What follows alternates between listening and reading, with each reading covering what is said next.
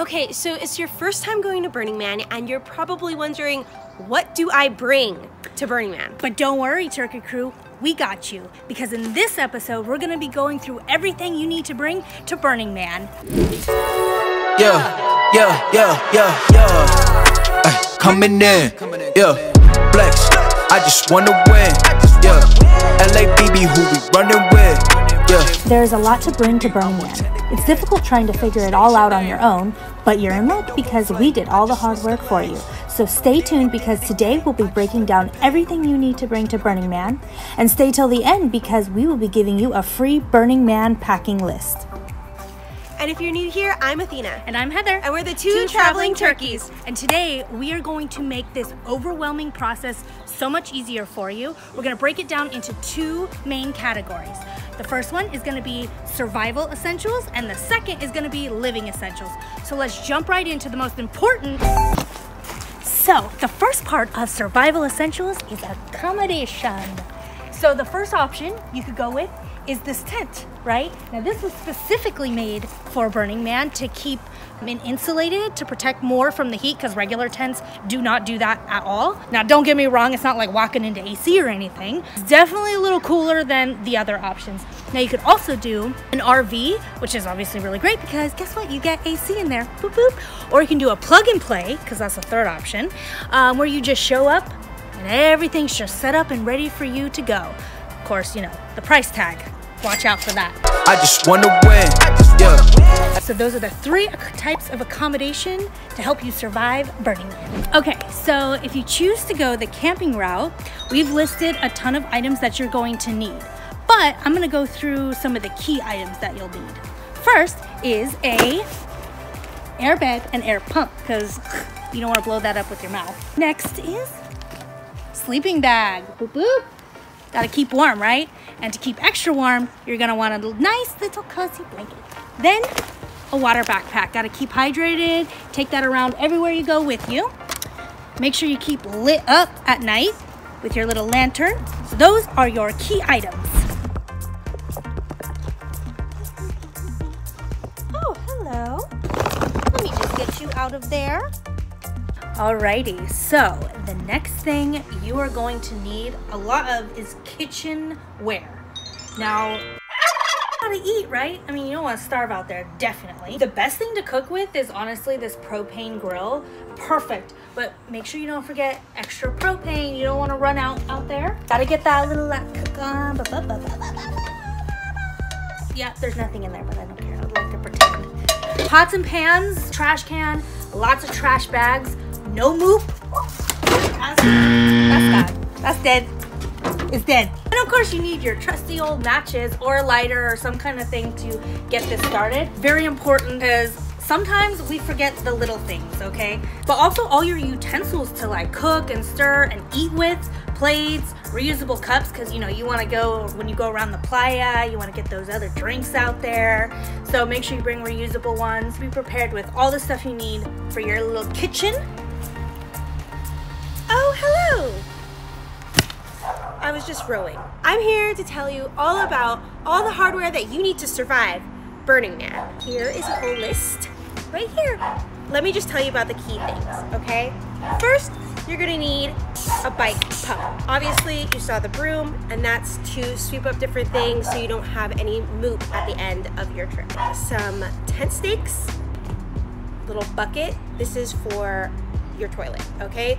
Because sometimes it's too far to go to the porta potties, all right? And that's just ridiculous. So, you know, sometimes you gotta just do what you gotta do. Then you're also gonna need a bike lock. Sometimes people steal your bikes. There's so many different bikes and you don't wanna get yours stolen, so lock it up. Duct tape, obviously, gotta tie people up. This to hammer things in, kill people, stuff like that. Also the rope to tie other people up, you know, for the orgy tent.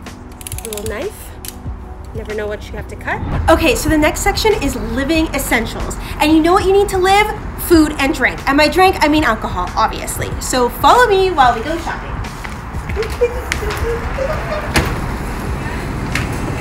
One great thing to bring to Burning Man is fruit. And what's better than some watermelon in the heat? Nothing, okay? Literally, it's like gold out there. Just put it in your cooler, chop it up. What, what? Okay, so another good thing is to take some instant soup. You could just heat up some hot water and make a little meal out of it. Or you can buy some cheese and some meat and everything like that and make a couple sandwiches. Although fruits are great to eat in the hot desert, there are some on the do not bring list. Apples are a no because of the core and bananas because of the peel. The rotting is gross in the heat. Also, nuts are a fantastic snack and stand up in the high heat. A nice charcuterie platter is a big yes. Can you say delicious? And as far as liquids go, you need your water. That's true. But also plenty of alcohol to keep yourself lit up. Bags coming, uh uh, coming in. Yeah, flex. I just wanna win. Yeah. Hey guys, what's up? Just riding my bike, which is the best mode of transportation while you are at Burning Man. You cannot get anywhere without one of these suckers. Ooh, and you have to light it up. Takes it to the next level. It also helps you find your bike in a sea of other bikes. Um, but yeah, you literally, walking around is not an option. I mean, it is, but I'm tired just riding this bike two minutes. Couldn't even imagine trying to walk the playa. Burning Man does have yellow bikes, which they're called yellow bikes, but really they're green. And there's not a lot of them, so they're kind of hard to find. But if you see one, you can pick it up and use it, but you have to lay it down and you can't lock it up, okay? Because it's for anybody to use. So that's your main option. And then the next one is an art car. Now, you could just hop on just as a regular hop on, let it take you where it takes you, and then hop off. Now, do keep in mind, they are a lot of fun, but if you decide that you want to bring one yourself, build an art car, there's a whole registration process. So you gotta look that up and make sure you go through that whole process. You can't just come with that art car and think you're gonna be roaming around in there. It's not gonna happen. And then if you're like Katy Perry and you wanna take the bike to the next level, guess what? You could do a Segway. When it comes to clothing, Burning Man allows you to truly be yourself and dress how you want to.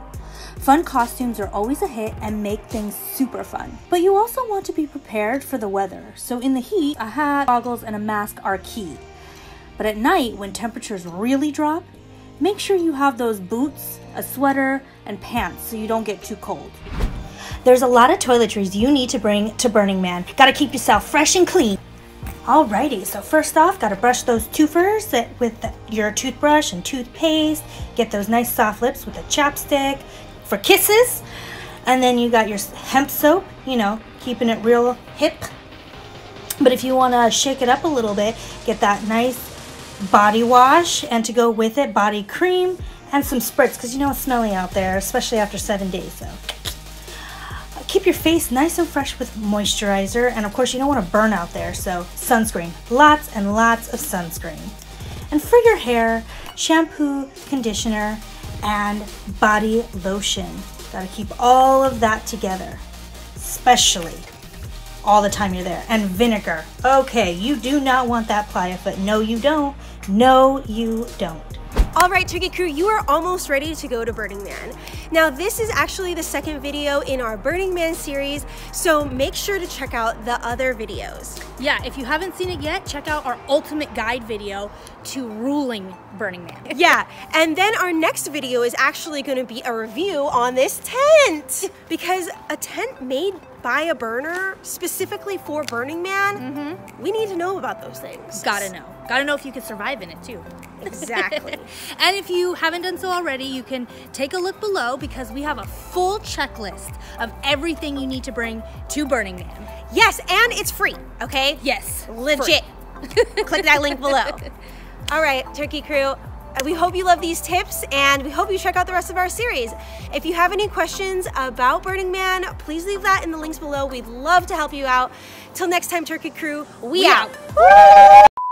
Okay, and if you're new here, I'm Athena. And I'm Heather. And we're the two traveling turkeys. So today we're gonna. God damn it!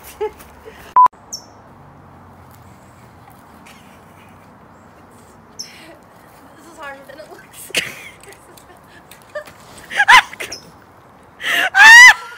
I can't do it. Start over. Mochi, what you doing?